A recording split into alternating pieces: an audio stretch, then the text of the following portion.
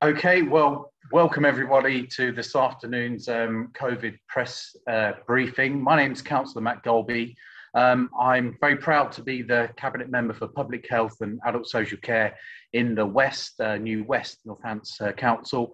Um, I'm joined by my colleague, um, Councillor Helen Harrison, who's the um, my opposite number in the North. We've got a number of people on the line who are experts um, from the different services, and I'll just run down those in a middle in a minute, um, and we'll um, go down and um, have a, a, little introduction from most of the members of the panel, and then we will take some of the questions that are pre-submitted. So I'll just run down because I think it'd be pretty difficult to um, do a virtual round the room. So on our panel today, we've got Lucy Wightman, who's the Director of Public Health in Northamptonshire. We've got Deborah Needham, who's the Chief Executive Officer for Kettering General Hospital. We've got Anne Dorothy, who's the Deputy Director for the COVID 19 vaccination programme. We've got Elliot Foskett, who's the Superintendent from Northamptonshire Police. We've got Dr. Joanne Watt, who's the GP Chair for Northamptonshire Clinical Commissioning Group. Um, I'm Councillor Matt Golby, there's Councillor Helen Harrison. We've got a couple of other uh, comms colleagues on the call, and we've also got um, Paul Andrews from the COVID school cell. So without any further ado, we'll go straight to Lucy for the first um, session of um, information from you, Lucy, if that's okay. Thank you very much, Councillor Golby, and good afternoon, everybody. Thank you very much for joining us. It feels like quite a big gap since we last all spoke, so I'm keen, obviously, to give you the latest information. Um, please do remember that obviously we update this surveillance pack on a weekly basis and you can access it as always through the County Council website which remains in place to ensure that people can find the right information when they need it as well as both of the new unitary councils. So the headlines this week, um, we are sadly seeing an increase in our case rates locally. Um, at this point in time, I'm pleased to say that it's not a significant spike as we've seen in other areas, but all the same, it is clearly a warning sign of potential things to come if we don't remember to be compliant and obviously make sure that we familiarise ourselves with the changing rules. And household transmission does still continue to be the number one cause of transmission, despite even those changes in some of our uh, restrictions in recent weeks. The largest number of cases has been again in the 10 to 19 year olds, and we do recognise that in part is a symptom of the fact that they are regularly engaging with testing. Uh, but we have seen a change in that the second largest number of cases is now in the 20 to 29 year olds. Historically, that's been in the 30 to 39 year olds for quite some time. And we'll talk about why that might be as we get into the report proper. But just to note, there is still significant variation in case rates across the county, and we will look at some of the reasons for that as we go through. So if we just quickly go on to the first slide, we'll just remind ourselves of some of the changes. Um, obviously, we didn't see the full removal of lockdown restrictions as we had hoped for Monday, but we have seen some changes. So it is worth noting of that four week delay, and that is primarily due to one of those four tests not being met, which was, you know, the assessment of risk has fundamentally changed because of a new variant of concern that we obviously now know as Delta. So we are obviously keeping in very close contact with Public Health England and central government with regard to the plans, but we do not expect an announcement obviously before the 17th of July at this point in time. On the next slide though, some restrictions have obviously changed, and I'm pleased to say that there has been some limited easing of rules, primarily around life events, so weddings, civil services, um, partnerships, uh, funerals, etc. So please do make sure that you familiarise yourself with those, but it does at least give some people who have been having to delay some of these really important events some opportunity to celebrate them in a way that they had hoped. If we move on. So one of the things that we're acutely aware of, obviously, is um, we've got uh, the football on at the moment, include, including a very important match this evening. But it is one of those things that we do really need to remind people about, particularly when quite often we'll go and watch uh, those football matches in a social setting. Um, and when we have a drink, we sometimes do forget, or when we're celebrating something, that we do still have to try and adhere to those rules around the numbers that we're mixing with, but also obviously social distancing wherever possible. So we've obviously developed a number of resources just to remind people not to get caught offside, you know, to help um, blow the full time whistle on COVID, etc. Because we want to see these final restrictions lifted as soon as possible. So if we move on, if we go to slide eight, if that's okay, that first data slide. And obviously, please do remember you've got all of that information in the pack about how to access testing, etc., should you need it there. But importantly, this obviously gives us a bit of a picture as to where we are at the moment. And as I said, we've had that increase again on our case rate last week. And this is data up to the 13th of June. So just recognizing that there is that slight delay in reporting. This is a continued trend, I would point out, though we're not seeing any improvement on the position in the last few days. And obviously in that week up to the 13th of June, we saw another 303 cases um, and that is a 21% increase just on that previous week. So if we go on to the next slide. So from a point of view of actual case rates, because obviously this allows us to compare areas with areas, you can still see that broadly, both the East Midlands and also locally, we do thankfully still remain either similar or a bit lower than the national rate. But I have to caveat that with the fact that that's not because we're not seeing those case rates increase. We absolutely are. It's just that they're not increasing as steeply as they are in the rest of England, and therefore, actually, England's case rate is escalating at a much faster rate. So this is primarily due to the fact that we have got a lot of the Delta variant present. In England as a whole, it is the, now the, the dominant variant. In Northamptonshire at this point in time, it's certainly dominant from the data that we've got around the genotyping in the east and the south of the county, but we are seeing a rising proportion of cases across the other areas too. I think one of the things to note as well in the last couple of weeks, those who have kept up to date with these weekly releases, is that there's been a, a shift we, you know, historically since Christmas have had real challenges in the north of the county, and you can see from these case rates that actually it's the west that is being more heavily affected at this point in time. In particular, Northampton, but then very similar rates in both Daventry and South Northants. Northampton there obviously statistically significantly higher than the actual rate for the county. So if we move on.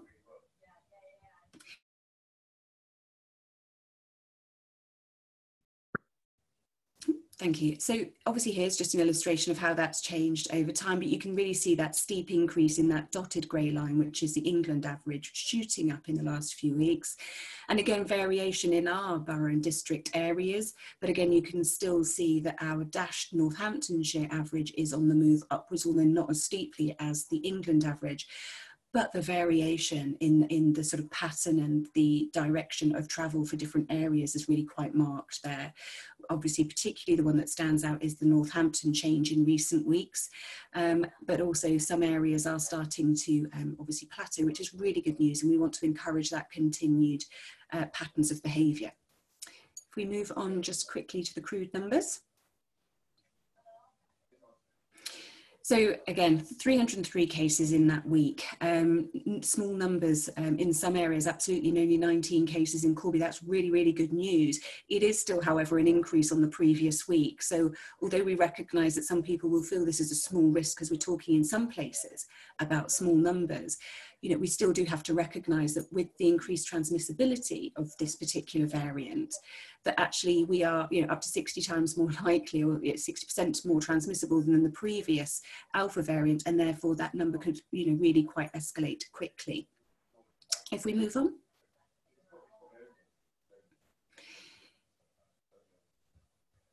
So again, this is just demonstrating the fact that we are very much on an upward increase trajectory. So all of those bars that are above the zero line demonstrate a, an increase. This data goes up to uh, um, the 10th of June, and therefore you can obviously see on a day-to-day -day basis, there is some fluctuation, but we still are very much on the upward increase. Can we move on, please? So here's the really interesting part. So we do know, as I said, that this is in part an artifact of the fact that we test very regularly in schools. And we're really grateful for the school's input into that supported um, process and also all of the school communities, the parents and all of the carers engaging in that process. It is very much helping us keep on top of making sure that those settings remain open and also obviously making sure that we isolate as soon as possible to limit the onward spread within those groups. But what's interesting here, as I've said before, is we've now seen a shift to the 20 to 29 year olds uh, being the second largest group from a point of view of crude count of cases. The good thing here is we have got an equal distribution of males and females. Um, you know, most things would affect uh, both genders equally, and that demonstrates also that we've had an increased uptake in testing in males, which is a really positive thing. And every time we find someone positive, as much as obviously that is playing into some of the decisions central government's having to make, it also means that you know, assuming that person is compliant, which would obviously want them to be, that they are then going to be stopping passing that on to somebody else. And this is the only way that we're going to start to bend this trend once more. If we just move on to the next slide. Again, this is a good news story, um, and I won't say too much about it um, from a point of view of we've seen a, relatively low rate of um, admissions, but it, again, it is a slightly changed story, so I'm sure Deborah will give us a little bit more detail about what it's feeling like and looking like, both COVID and non-COVID related uh, activity in the hospitals in a second. If we just move on to the next slide. The one benefit here, and this is you know, very much directly related to the lockdown impact and also the vaccination impact, is that we have not seen any deaths.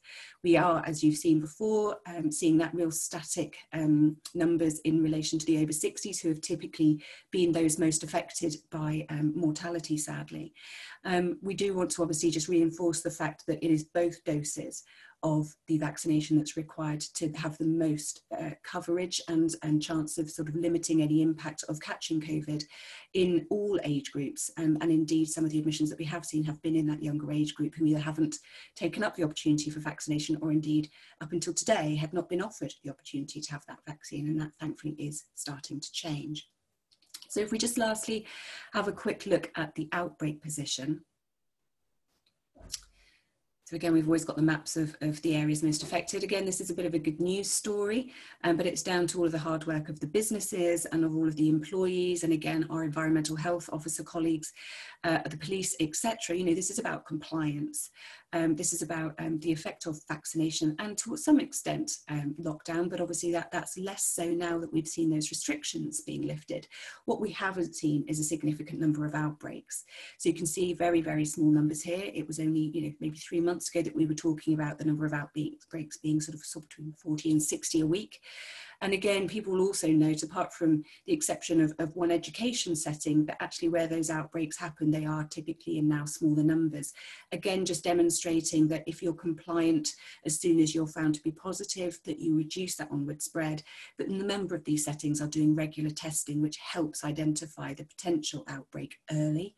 Um, and obviously a lot of the people affected um, and working in these areas will have also received their vaccinations. So definitely a good news story, definitely evidence of the fact that what we're doing works as and when people do remember the restrictions and take up the opportunity for testing and vaccination whenever they can. So I will stop there, Councillor Golby. Thank you. Thank you very much, Lucy. Very good. Thank you. So um, next to present, if that's okay, is Deborah Needham. Um, Deborah, are you okay to speak to the conference. Thank you. I certainly am. Thank you, yeah. Councillor. Thank you. And good afternoon, everyone. Um, so I'm going to start just with an update on the number of COVID patients we've got across both hospitals in our county. So today we have four patients um, across Northampton General and Kettering General. One of those patients is currently in, uh, in critical care um, and all have been diagnosed as COVID positive. Now, that doesn't seem like a lot of patients, but what I do need to let you know today is that both hospitals, and in fact, GP surgeries also, are incredibly busy at the moment.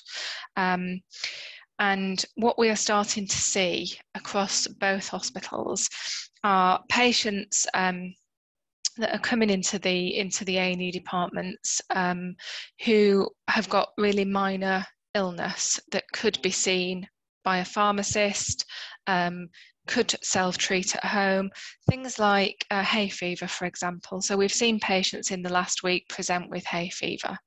Um, and whilst I appreciate that that may seem serious and severe to the individual who's experiencing the, the effects of that, it certainly doesn't warrant um, either a trip to your GP unless you can't breathe uh, or a trip to the emergency department. It is not an accident or an emergency. Um, so my message really today is uh, to the to the general public to say, please keep our hospitals free of um, patients um, who don't need to be there. Um, please do use other alternatives. So you can contact 111. You can do that either via the internet. Um, it's really quite easily. I did it myself a few weeks back.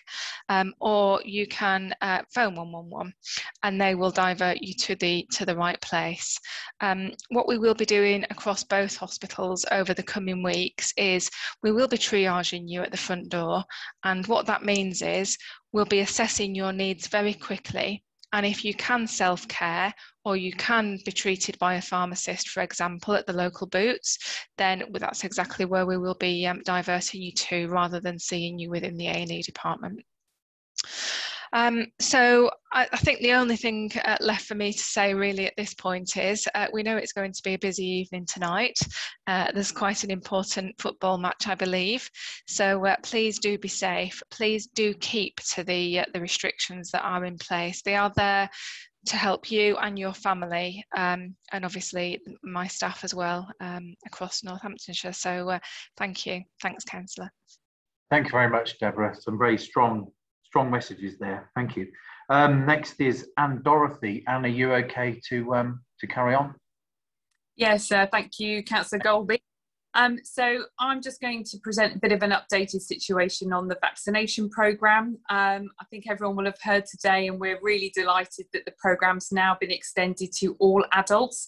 Uh, so that's all over the age of um, 18 um, can now um, either book or be invited for their, uh, for their vaccination uh, which is a which is a great news story and really does begin the final push um, to protect the country going forward. So the NHS will be sending about one and a half million texts out to people between the ages of um, 18 and 20 um, from today onwards, um, inviting them to come forward. Um, we're obviously ready for some high demand in relation to this. We know we've got um, a big uh, target to reach by the uh, 19th of July, and we're absolutely poised and ready for that and have been um, planning for that accordingly. So we know that around eight to 10 adults have had their first dose across the country and, um, and about half have had their second dose as well, which is having a really positive impact as has been outlined by um, Lucy. Um, so people can continue to book um, via the national booking system or via 111, um, and they will also be invited by uh, their local um, GP practices and primary care services to get a vaccine. Um, just a few key messages, and I won't um, run over what Lucy's touched on already, but um, but we're really pushing the message hard about the importance of having that second vaccine. Um, obviously, we've got a cohort of the population now being invited to come forward early to have that um, second vaccine. So um, within eight weeks um, of the last one, or they need to have had it um, uh, more than eight weeks ago. Um, and that's going to have the most significant impact on the Delta variant that we know it, it's really critical to have that second um, vaccine. This really is the way the way out of the pandemic, as, as Lucy said.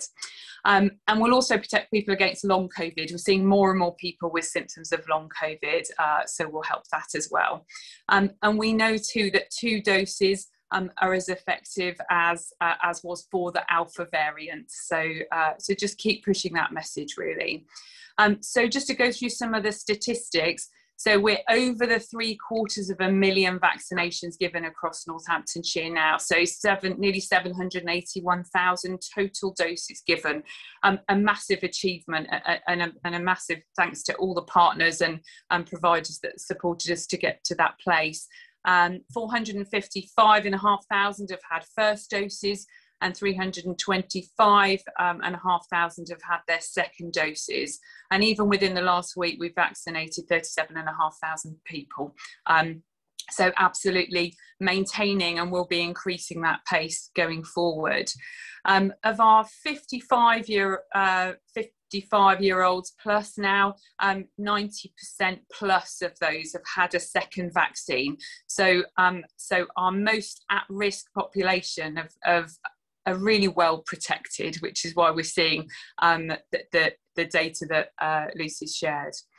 Um, so for first doses, uh, we've got 85% uh, of 45 to 49 year olds have had it, and 87% of 40 to 44 year olds have, have had their first vaccination. And, um, and we're making great strides with the younger cohorts now and seeing those um, figures increase also. Um, so some really good news uh, for, for this week and going into the future is that we started drop-in sessions at the vaccination centre at Moulton Park. Um, so what we know is that the younger population don't always like to plan, don't always like to book in. Um, they quite often prefer to just be able to turn up somewhere. Um, so we're taking a different, more flexible approach to that. And we started offering drop-in sessions yesterday. We've got a drop-in session today. Um, and I'm pleased to announce too that we've got a drop-in session from 5.30 to 7.30 tomorrow evening and on Sunday and on Monday from 12.30 to 7.30 in the evening as well. So loads of opportunity for people to um, to just arrive for their for their vaccination at their convenience around football matches, obviously. Um, what we want to do going forward is to have a plan that every single day we will offer drop-in opportunities here at the VC and we will be publicising that um, from next week. Um, so we've got a great team here who will welcome people through. With the drop-in, um, there is a there is a chance that people may have to queue. So we just ask people to turn up prepared. Um, you know, bring your water. Uh, don't have to worry too much about the weather today. It's bring your umbrella as I look outside the window here. But just to just to come prepared, appropriately dressed, and so on. Um, and again, you can still book in if you prefer to be organised. You can book in via NBS um, or via 111. Um, continue to uh, vaccinate a huge proportion of the population through our local vaccination services and GP practices, um, and also through our community pharmacies. So, our community pharmacies are playing an increasing role um, in helping to vaccinate the county. Uh, we've got a new centre opening at the Raven Hotel within the next couple of weeks, um, which provides more opportunity again for people in um, in Corby to ensure that um, that they get their vaccination too. So, um, so making sure there's as much flexibility, both booked and drop-in um, opportunity going forward as well. Thank you. Thank you very much, Hannah. Some brilliant, um, brilliant performance there. Excellent. Um, so next we've got Elliot Foskett from Northampton Police. Elliot, are you okay? Councillor, thank Councillor, I hope you can hear me. Thank you. Yes, I'm very good. Uh, it's been a while since I've been on this call, um, but it's really good to see so many familiar faces. Uh, so, from a policing point of view, reports of COVID breaches, i.e., those breaches that members of the public phone in to tell us about, have dropped uh, steadily, and we've seen a, a, real decline in the number of people calling us now. Uh, um, I think 136 breaches have been reported to us since 17th of May. Now, if you think back at the peak of what we were dealing with when I used to come on here before, we were looking at around, uh, certainly in the first lockdown, five, 600 a day sometimes and certainly at the start of the year regularly a couple of hundred um, on busy periods of time. So you can see those have dropped off um, significantly and we're getting around about five a day now on average um, so that's not all good news. It means that we know that things are still going on and, and, and things aren't being reported to us. Um, but at the same time, we know that actually there has been a, a big reduction in that kind of demand as well. Uh, so alongside that, I suppose it's best, it's good opportunity for me to uh, talk about our enforcement. The fixed penalty notices we give out, we've seen a real dramatic um, reduction in the amount of fixed penalty notices that we're giving out now. So, uh, you know, all of those breaches that we attend um, they're not always as reported. And likewise, when we get there, we use our discretion as well. It's not always necessary. So the vast majority of the ones we have given out uh, have been in relation to contravention of gatherings indoors. So those people who decide to gather indoors against the law in greater numbers than uh, what is permitted within that law. Uh, so that's where we've seen it. Uh, and the breaches have been spread out, by the way, all over the county. So there's no particular hotspot area that we're seeing. It's, it's a real sort of uh, mixture. So the risks, I guess, at the moment for policing and for for COVID for us really, especially this weekend, I'm going to say is the weather. You know what we would have seen is mixing outdoors, particularly for the football, etc. Tonight, um, and what my concern personally is is that this will drive people indoors, and I'm asking people now not to do that. We know you can go indoors um, two households or six people, please don't breach it. Don't do it. We've got a lot of additional officers on tonight, and we will deal with those COVID breaches where we find them. If you are gathering in excess of what is permitted, remember again that's six people or two households, and the likelihood is you'll get a £200 fine. So it's my football analogy now. Let's stick to the rules and make sure that the only penalties that are given out are on the pitch and not to you. Um, and then finally, for me, a quick note on masks. Um, I think it was widely reported that Northants Police were one of the first forces to really start enforcing uh, the legislation around the wearing of masks. Uh, and in fact, at one point, I know that we were um, probably second only to British Transport Police and probably proportionately the highest in the country. And, we did this for a reason. We know that the wearing of the mask is, has a significant benefit. It stops the spread of infection. And that's why we do it. So we're starting to get more reports now, though, uh, of people not wearing masks where they should. Other than an exemption, there really isn't any excuse for this now. Most shops and places you do go in, if you've forgotten a mask, there is one there that you can use as well. So please, please remember your mask. It's really important. And again, if you don't, we won't shy away from enforcing it with a fine. We all have a responsibility to protect others. And with the transmissibility, as you've, you've heard uh, uh, in relation to this, you have to do your part. We must continue to do our part. And my part as uh, leading the policing operation will be making sure that if you don't, you're going to get a fine for it.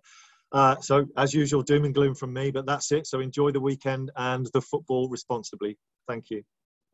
Thank you very much, Elliot. Um, okay, so we'll move on to um, Dr. Joanne Watts, if that's okay, Joanne. Thank you.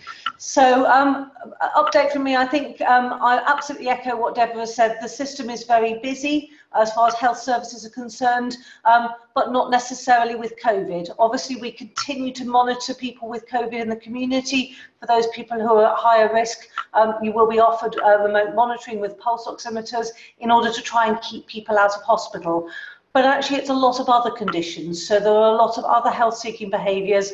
Um, and as Deborah has said, um, there are some things that it's really important not to forget community pharmacy, um, really important. They are an extremely useful source of information um, and 111 as well. Um, so it's important to remember that GP surgeries are still there. Um, my top tip for you would be if you don't have to contact a GP surgery on a Monday, choose another day. It's a very busy day of the week. So if you want some practical advice of how to contact your surgery. And also remember that there are other professionals other than GPs there. So a lot of surgeries have first contact physiotherapists and social prescribers. Um, and we are seeing a lot of people who need that reconnection um, with the rest of society. And you can call your GP surgery and ask for a social prescriber, particularly if you're feeling lonely, if you're not sure what's going on, if you want reconnecting with society. Um, they are fantastic individuals and they will really support you. Our GP surgeries have continued to be open throughout the pandemic, um, and we are now seeing approximately 17,000 appointments a day in general practice across our system. So, huge volume of activity. 60% of that is currently face to face consultations, and we know that our patients also appreciate uh, remote consultations as well. Um, a lot of the routine health checks are happening, and that's one of the ways that you can keep yourself healthy so that you don't end up needing to go to hospital. Is make sure that some of the things that you might have done to neglect yourself, um, go when you're invited, whether it's a diabetes check or a high blood pressure check, make sure that you get those checks done. Um, and when you do contact your GP surgery, if you are asked to go in face to face or if you need to drop something off, um, please do remember to wear a mask. It's really important to protect um, other patients and also to protect yourself as well. And one of the things that we've seen across the whole system, and this is hospital, community, and general practices, we do really appreciate it when the general public are kind to public sector staff.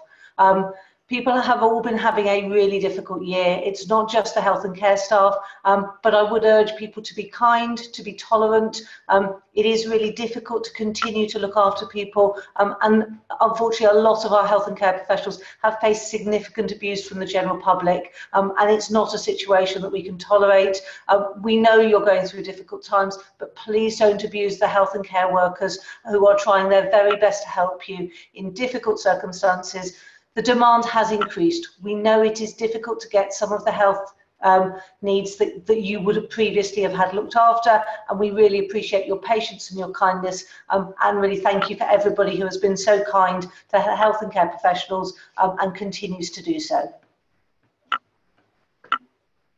Thank you, Joanne. Okay, so that finishes uh, the first part where we hear from the panel. So we'll move on to um, some questions, the pre-submitted questions we've had we've had from media colleagues. So the first one is from Global Media. So I'll read this one out. So um, basically, it says um, Corby is shown to have one of the lowest percentages of 50-year-olds in their area having both jabs. Um, what can be done to improve that number? And secondly, uh, with the 18s and over now being invited to book their COVID jabs, will the vaccination programme keep with its current mix in Northants of the mass vaccination centres, GPs, and some pharmacists, or will there be an increase in hours, locations, non booking appointments at the mass vaccination centres to get as many remaining adults vaccinated as soon as possible? So I think um, Anna uh, basically answered some of those, but Anna, do you want to respond to some of these questions? Uh, to yeah. these questions, if that's okay. Yeah, thank you, councillors. Uh, certainly. So so we want to make sure everybody has the best opportunity possible um, to get their vaccine, both first jabs and second. Um, so we are already offering, as I've referred to earlier, some increased flexibility around drop-in. Um, we are operating some extended hours already, certainly the vaccination centre at the weekends and also across some um, primary care sites and pharmacies. Um, and over the next month or so, we're, we're exploring ways that we can increase that even further. So you will see, and the community will see, more opportunities to access out of hours. Um, so across the county, we've we've got some really good, um, you know, we've got some really good coverage in terms of first and second. But we do know that there are pockets where we need to push harder. So we continue to um, put the message out there as well that it's really important to have that second vaccine, um, and with the new cohorts coming on board to go and get firsts. Um, so a lot of it is around public messaging as well as around um, accessibility and having the right venues in place. Um, Corby specifically, as I said, we've got the new site opening at the Raven Hotel. So we've got a real focused approach there on, inc- on increasing the opportunity for, um, for people to come forward. Thank you, Anna. So the next question is from Kate Cronin from Northampton Telegraph. I understand Kate can't be with us, um, but I will read the questions out. The first one is to Lucy, I think. So the first question is, can you give us some of the reasons why cases, um, why case rates are so low in Northampton compared to the rest of the country? And are you expecting a surge in cases as has been witnessed elsewhere? Lucy, you okay to respond to that? Absolutely. So uh, we think there's a, a, number of reasons, and obviously we unpick the epidemiology, as you know, locally, um, both with our environmental health experts. We work with the school cell, the adult social care cell to understand the behaviours. We work with Public Health England to understand the behaviours locally and elsewhere as well. We think there's a couple of reasons. So one is obviously we have been an area that's had a lot of focus from a point of view of we had very large outbreak last year. We then had three areas on the Chief Medical Officer's watch list for a period. And then obviously post Christmas, we've had that sort of, you know, onward and, and quite continuous transmission in Corby until recently. So we have had concerted efforts locally to make sure that we've engaged with the communities. We understand what barriers there may be to them, you know, following restrictions and or adhering to isolation requirements, for example. We've worked tirelessly with our comms colleagues and our community engagement leads and our COVID community champions to make sure that we're reaching out to as many parts of our communities as possible to help them understand what the requirements are and to support them to be compliant. Our EHOs have worked tirelessly with our businesses, you know, as has um, all of our school teachers and our head teachers worked with our school cell, etc. So I think there's been a focus on us as a geography where obviously that's meant that we have had to very much work with our communities to understand and support them to be as compliant as possible. And, and we are reaping the reward of that to some extent.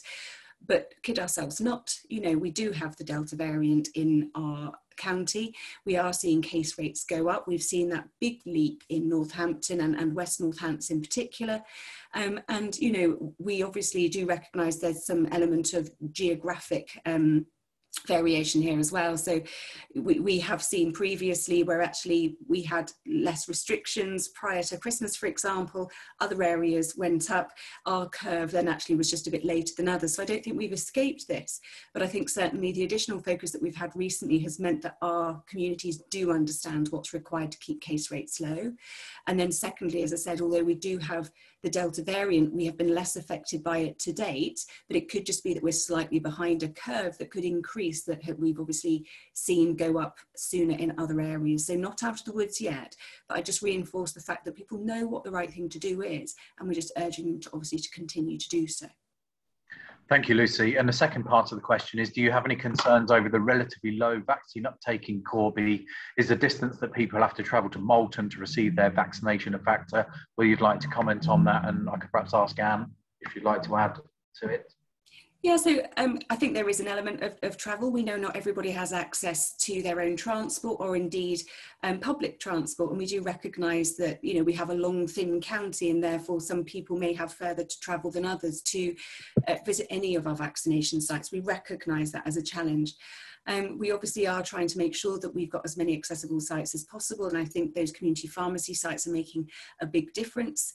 Um, I think as well, if we're honest, we know that um, there is a link between areas with higher rates of deprivation and then lower rates of vaccination, and that's something that we've seen across the country. So again, we're just trying to make sure that the reasons for vaccination are fully understood by everybody, you know, and, and any concerns or, you know, hesitancy that they've got um, is addressed as well. So this is about not just physical access, but also a willingness and a desire to, um, you know, engage with this process because they recognise the benefit. Thank you, Lucy. Anna, did you want to comment on that point at all?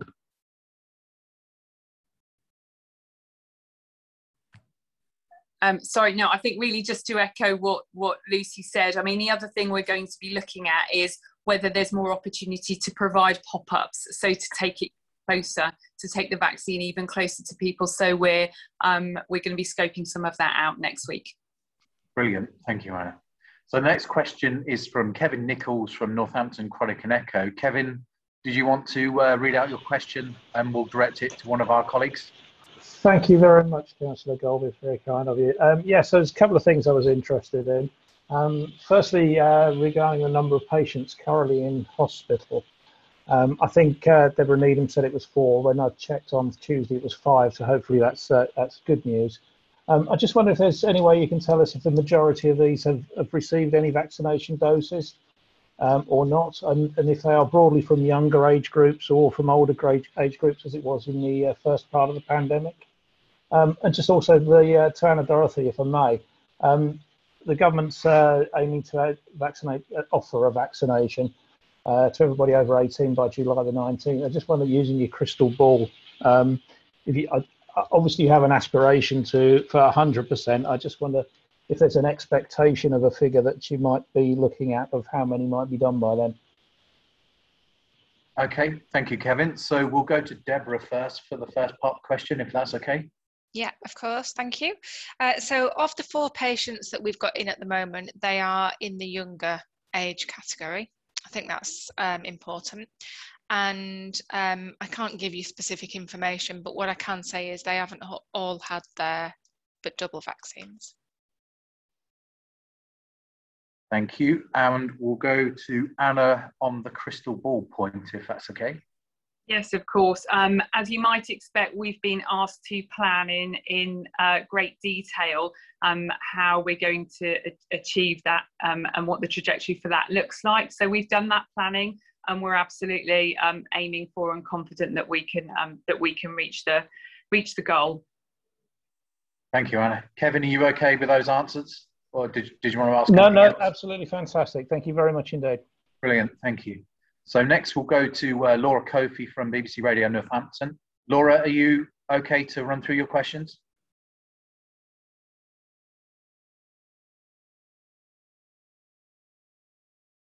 Okay, I don't know if we've got Laura. I, I, I, can't check to see if Laura's on the line, but I'll ask them anyway. She's there, yes. Um, I don't know whether she's having a problem unmuting. We'll give her a couple of seconds. She's just put in the chat she was having audio issues. Ah, okay. Do you mind reading them out? Yeah, of course not. Of course not. Okay, so from Laura at BBC Radio Northampton. Uh, first question: How many people in hospital with co- How many people are, are in hospital with COVID? Um, and already in ICU. Um, so that'll be to uh, Deborah. And then to uh, public health vaccine uh, colleagues, uh, BBC understand vaccines will be compulsory for care home staff. How many care home staff will this affect and how many haven't had the jab compared to how many have? So the first point um, will go to Deborah, if that's okay. How many people in hospital with COVID? I think you did go through that earlier, but um, if you just want to um, reaffirm that. Yeah, absolutely. So it's four at the moment, and one of those is in in critical care.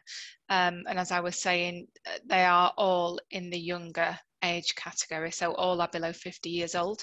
Um, and I think what's really important here is we very different to the previous uh, previous waves of COVID in terms of age groups of admission. So if you are in the younger age group and you have not had your vaccine yet, then please do go and get it because you uh, this uh, this virus does not uh, does not uh, stop affecting everybody. So uh, really important that you go and have it your vaccine. Thank you, Deborah. And then the point on um, care home staff. I understand we haven't been able to get anybody um, from the adult social care um, team, but um, I think Lucy, you've got some comments on this question? Yeah, absolutely. And obviously we, we, we recognise um, the, the requirement that's now obviously going to be put in place with regard to ensuring that our care home staff are vaccinated. Um, of the 7,842 care home staff that um, we're aware of in, in the county, um, from a point of view of, of, we have a local care home sort of tracker that, that looks at all sorts of COVID related data. We've had 6,304 have had one of their doses and um, 5,015 have had their second, so around 1,200 um, staff. Um, there are around 267 staff where we're still chasing that information, but around 1,200 uh, staff that have yet to be vaccinated. Now, obviously, just to point out that that will be in some cases because people have preferred to wait for their age group eligibility um, because of some of the, the changes around the recommended vaccination for different age groups. Um, but we also do have to recognise that, as we talked about before, there is some, still some hesitancy and therefore we're going to be working with our adult social care staff, our comms engagement teams to make sure that people you know, understand the benefit, that we can answer any questions they may have about any concerns to do with the vaccination and obviously, our approach will be absolutely to encourage people voluntarily to undertake that vaccination first and foremost, rather than sort of go in with um, a, a demand for that to be a requirement. So, we want people to be satisfied and happy that this is the right thing to do and it is a safe thing to do. Thank you, Lucy. I hope that answers um, Laura's questions. So that comes to the end of the um, pre-submitted questions. I just wondered if there's any um, press, uh, media colleagues um, would like to ask anything else, if you could just um, stick your hand up or put something in the chat, um, I'll just give you a chance to do that if you if you would like to. Oh, here we go. So we've got Stuart Ratcliffe. Hi, Stuart. Hi, thank you for letting me put a question in. Um, I know you were talking about uh, all the new drop-in centres and making it easier for people to access vaccination centres, but we were doing a report earlier on in the week about low uptake in the under 30s. I just wondered whether that was a uh, something you'd seen in Northamptonshire. So I guess that's a question to Anna in terms of vaccine hesitancy in younger age groups. Yeah, sure. Anna, would you like to comment on that? And then perhaps maybe Lucy might like to add something. Yeah, of course. Actually, you know, we're seeing a really good uptake um, in the under 30s. The message is getting out there. It's um, availability for some of them. I was just going to pull the figure um, back out actually for uh, the, the, that age group. Um, so actually, our 30 to 34 um, age category is at 65 percent. 35 to 39 is at 72 percent. So we're making uh, and very quickly. I think what we acknowledge is that our approach, um, we've had to change our approach and we'll continue to change our approach um, in terms of encouraging younger people to come forward to their vaccine. And some of that's just about how we how we offer it. So hence, hence the, the drop-in approach. There's also something different we need to do about how we um, how we engage the age group. So it's using different kinds of social media, for example, um, to reach out. So we're doing lots of work with our comms team and getting support from them to to use TikToks and Instagram and and uh, things that I don't always uh, know and fully understand.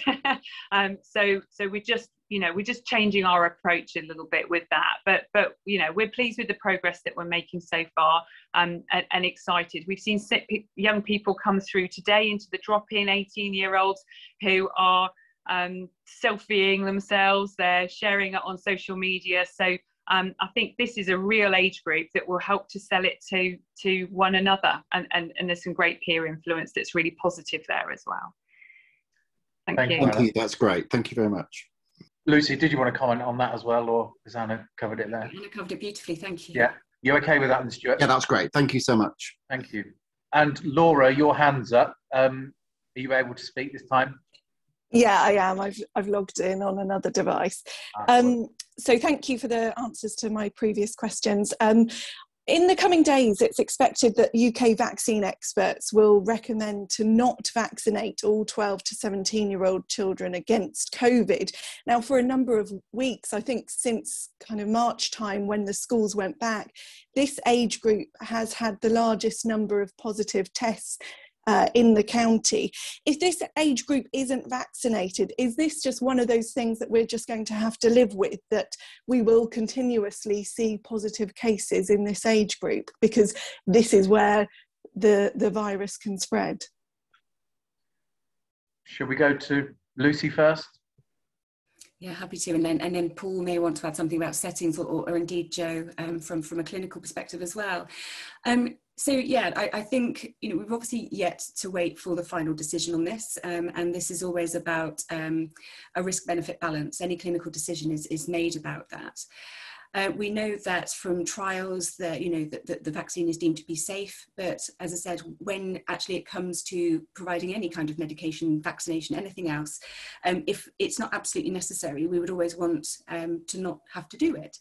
With children, I think the key thing is that even when they're infected, there has been so very little um, so you general illness and certainly very very little mortality associated with it that again you know they're just trying to make sure that, that, that they look at that risk balance what is going to be key though, because we recognise they are super spreaders, our young ones, um, is that we need to make sure that we've got a certain level of vaccination coverage in the rest of the population, so that when they're transmitting it, that anybody who may then be infected has got the protection of the vaccination behind them, so they are unlikely themselves to end up with, you know, particularly uh, severe symptoms or indeed hospitalisation. So it'll be linked to the levels of vaccine uptake that we see in the wider population as well, that decision-making process.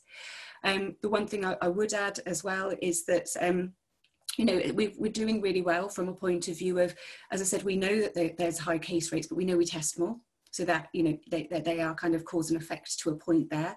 Um, but we also know that our settings are really secure and they're working really really hard to ensure that any positive cases obviously are dealt with really really well. And again our recent outbreak uh, you know records demonstrate how effectively they are doing that. So even where there is infection um, we're obviously seeing less transmission both within that school setting and also to the wider population.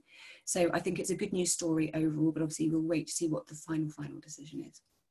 Thank you, Lucy. Paul, did you want to comment um, from the school cell point of view?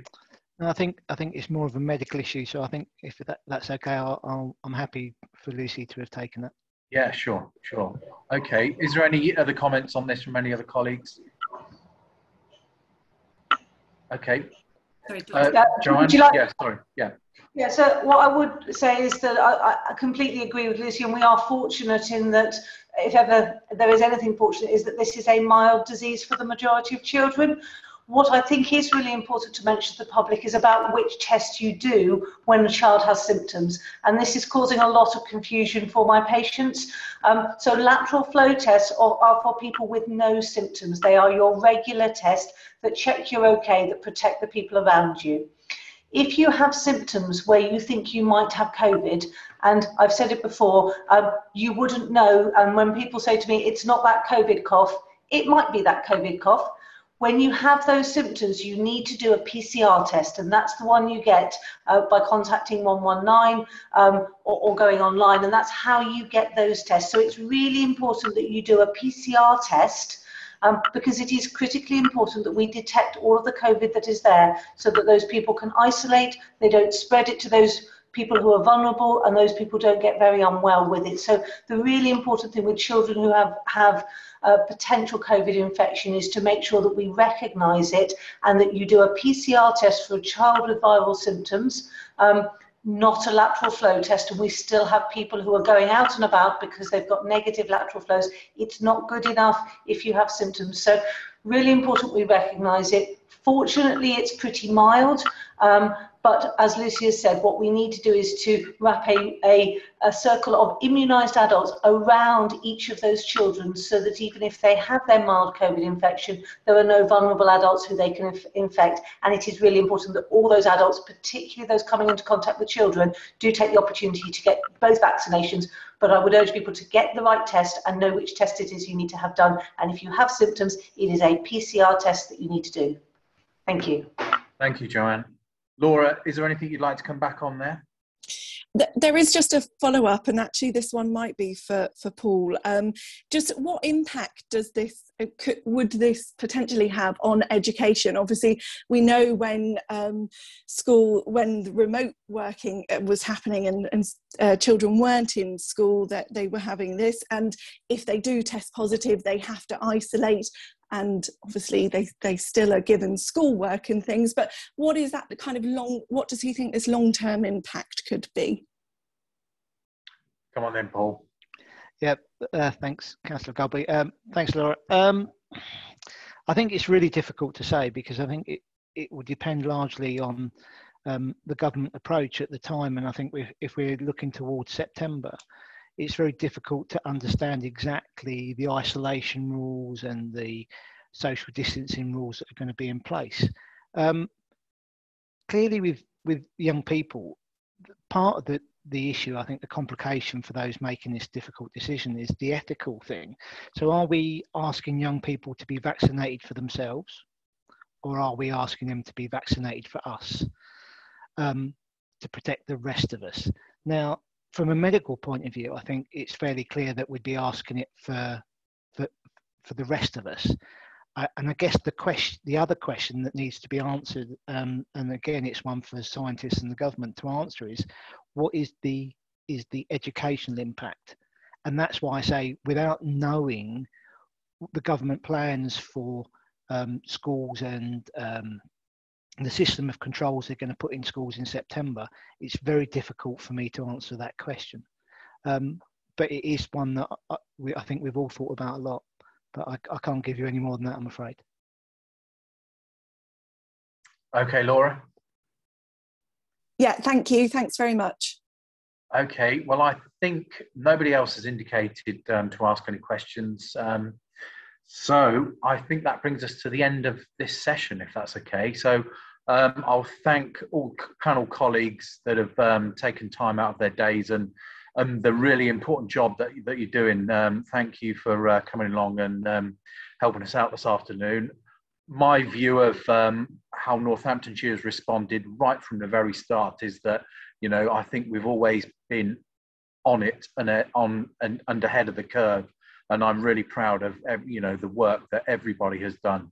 Um, so you know there's some really strong messages um, in there from all of the uh, panelists this afternoon. And um, Lucy asked me to remind everybody that um, the video will be uploaded to YouTube um, not long after we close down this afternoon. So just to thank everybody again, thank um, press media colleagues for attending. I hope this has been useful and We've got the announcement again, hopefully before we step right down um, in a few weeks' time. So I think the plan is to maybe have another session just before then um, to give everybody a final update on where we are. But um, thank everybody for their time and um, I wish you well and have a good weekend. And let's hope the football goes well. Cheers. Thank you. Bye now.